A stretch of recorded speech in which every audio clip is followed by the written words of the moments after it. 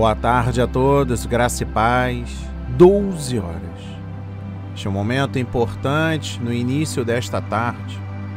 Muitos estão agora sentados diante do seu prato de comida para saciar a fome para uma longa jornada que se chama trabalho. Muitos estão em casa, desempregados, com pouco de comida que ainda há nas suas dispensas para sustentar toda a sua família. Mas diante de toda a adversidade, devemos agradecer ao Senhor pelo que Ele tem feito em nossas vidas. Não falta nenhum tipo de alimento.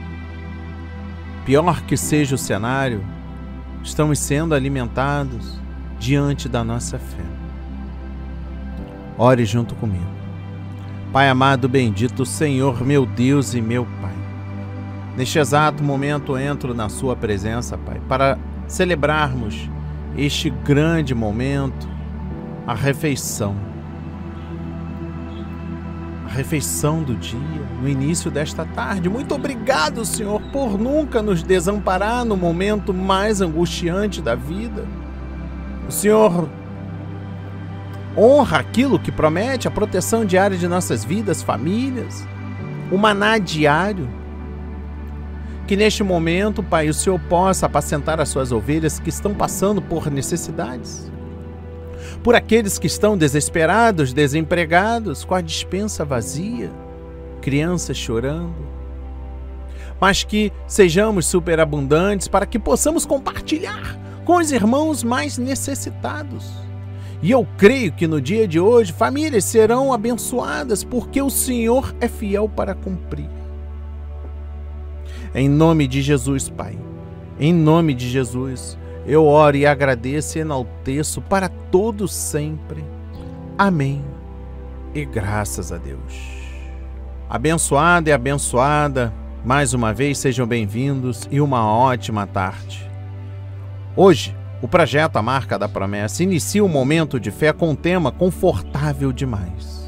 Leitura no livro de Lucas, capítulo 9, versículos 57 e 58. A palavra do Senhor diz: Indo eles caminho fora, alguém lhes disse: Seguir-te-ei para onde quer que fores. Mas Jesus lhe respondeu: As raposas têm seus covis e as aves do céu ninhos, mas o filho do homem não tem onde reclinar a cabeça.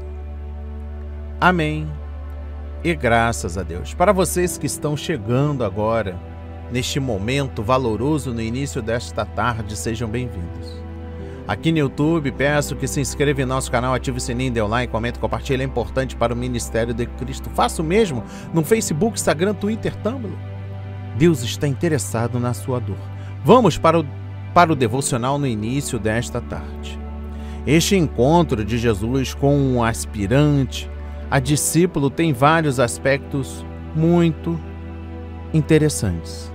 Notemos que, a princípio, esta pessoa aproximou-se de Jesus com uma proposta que parecia muito generosa: Seguir-te-ei para onde quer que fores. O homem está falando de uma entrega incondicional, a disposição de aventurar-se com a pessoa de Cristo Aconteça o que acontecer, assemelha-se aos votos de entrega que muitas vezes fazemos em nossos encontros como Igreja de Cristo quando oferecemos lealdade e compromisso incondicionais ao Senhor.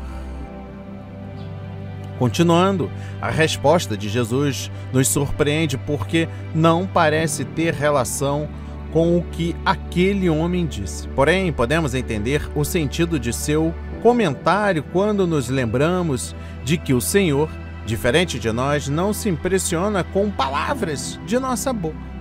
Sabe que nossos lábios frequentemente fazem declarações que não correspondem ao conteúdo de nosso coração. A vida espiritual não se define com palavras, mas com obediência. Este homem, aparentemente tão comprometido, na verdade tem um sério problema e Cristo percebeu.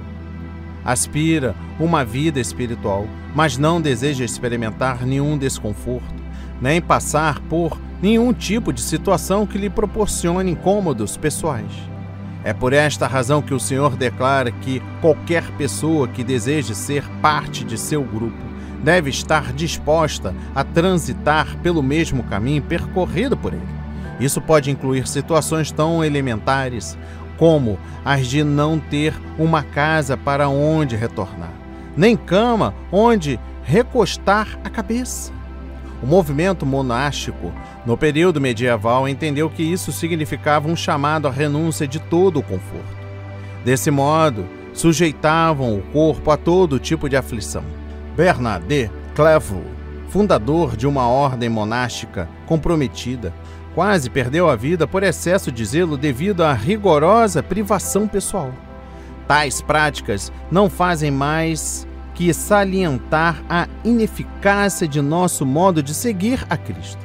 O Senhor não estava chamando uma pessoa para castigar seu corpo como severa disciplina, mas a entender que deveria estar disposto a sacrificar seu conforto pessoal a segui-lo.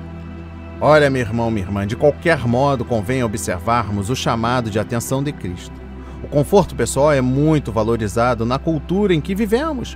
Basta tentarmos fazer um jejum para percebermos quão frágil é nossa capacidade de suportarmos a mais branda privação. O Senhor nos lembra que Ele pode convidar-nos a segui-lo entre pessoas que cheiram mal, que não têm casas bonitas, nem camas macias à disposição. Se desejamos acompanhá-los, devemos estar dispostos a sacrificar estas comodidades. A ansiedade em assegurar nosso bem-estar pode tornar-se uma grande pedra no momento de caminhar com Ele.